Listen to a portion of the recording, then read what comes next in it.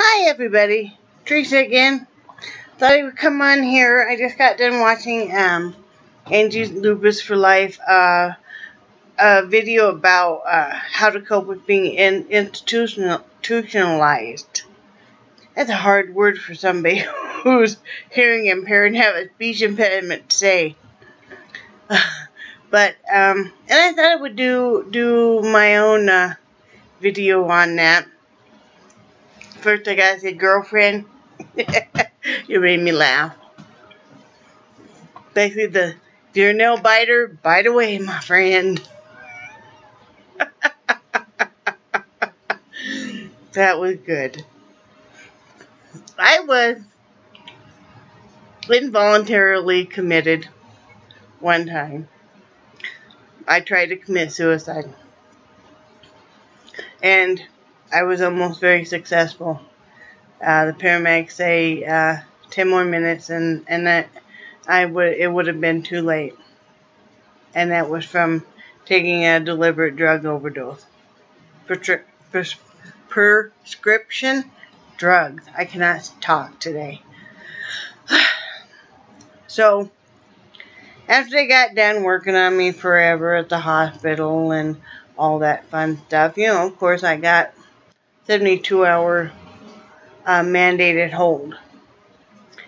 And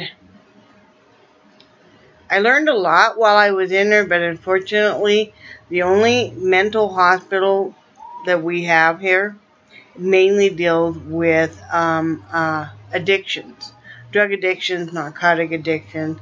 So most of the classes are geared toward that very little are geared toward just depression and uh, suicidal thoughts, um, or if you're bipolar or whatever.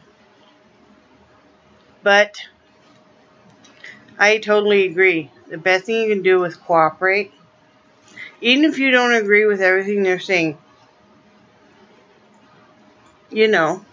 Because, you know, of course we don't. I mean, some of it, quite frankly, I think some of it, you know, um,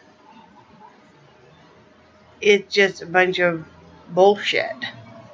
Um, and some of it's really good, good, good advice and really good steps and and really good, um, optimistic and positive and stuff. But then some of it you can tell it's like you got that out of a textbook. I've taken that psychology class, you know. So, but I mean, cooperate, cooperate, attend all the classes. Uh, you know, just get along with everybody, you know. And, you know, even even if you're mad and stuff, you know, like you said, don't don't start anything, don't fight with anybody, just cooperate. Um, don't do what I do did either. I got in trouble. Girlfriend, I got in trouble. Okay. I'm really bored. I'm sitting outside of, you know, out on the bench. Not outside, but in the hallway on a bench. Okay, the woman that was singing and dancing and talking to herself and having a good time doing it, yes, I confess I'm kind of jealous at this point in time. But anyway, she comes and she says, buy me. Well, I'm used to being a smartass, and I'm used to people knowing I'm a smartass. And I'm used to people not taking what I say literally. So I sit there and I just start staring up at this up at the ceiling. And she goes, What are you doing? And I said, I'm waiting for the mothership to come. She went and she told all the other patients in our ward who then all believed me, who then went and told the staff, and I got called into the uh, director's uh, doctor's office, and I was told that I shouldn't shouldn't do that because the people would really believe me. Yeah. That's probably why they only held me for two two days instead of this three days. After two days, they let me out. They're like, go home. I was told I, I, I wasn't messed up enough to stay any longer, that they had patients that could bene better benefit their time than me. You know, I could just do outpatient therapy, so whatever. You know. I do have to say one thing is is it being more serious is a great alternative to rather than killing yourself or doing harm to yourself or somebody else. Um, um, it's a great place to get all the stress off of you because you don't have to worry about, in my case, caring for anybody else in the entire world when you're in there, just yourself. And like she said, make a list of who is allowed to come see you and who is not. And who's allowed to call you and who is not because this is your time. You know, this is your time just to to think about yourself in your head and your heart, not everybody else's. You know, and I had one doctor tell me, he said, don't be ashamed to be, to have been in there. And he was my personal physician at that point in time. He said, I even did a voluntary commit when I was in med school. He said for about a week because I needed that time to step away from real life. He said it's okay to take a break from real life if you need to and just concentrate on yourself and fix what's going on with you.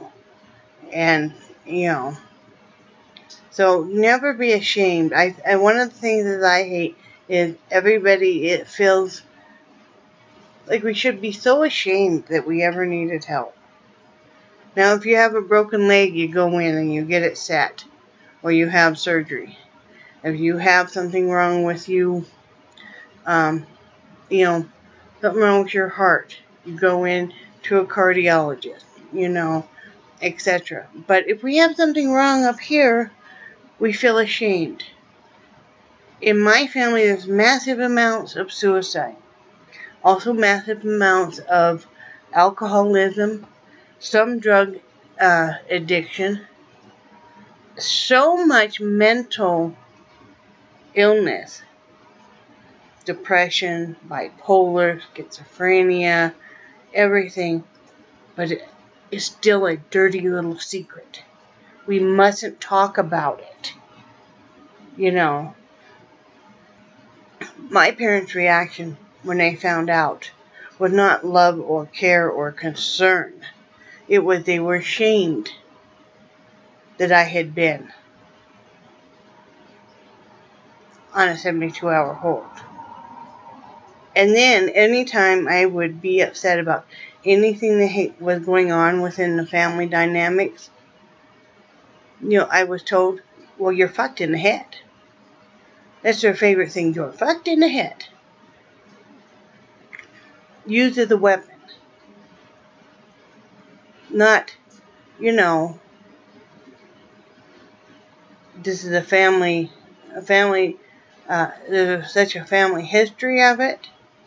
I mean, we're talking going back to five generations. You know, and, you know, it's, it's, you know, but it's the dirty little secret. And it's like, why? If we were upfront about it, and we let people know that they don't have to be ashamed of it, they can talk about it. So, you know, people people might come come to you and say, you know, I think I might need a little help. I'm really struggling. I'm really depressed. So please don't, please, my message to you guys, suffer from depression because I do. I'm, you know, I have to work really hard on it. Um, and I'm on a, a mild antidepressant anxiety pill. I also take St. John's wort. I also do uh, the the um, UV lighting. Well, actually, the sunlight. I make sure I get enough of it, or else I get seem to get uh, more depressed because I do have seasonal depression also, um, as well as the clinical, and as well as I'm bipolar too, mild. Um, and I have anxiety and PTSD. Um, is don't be ashamed, please.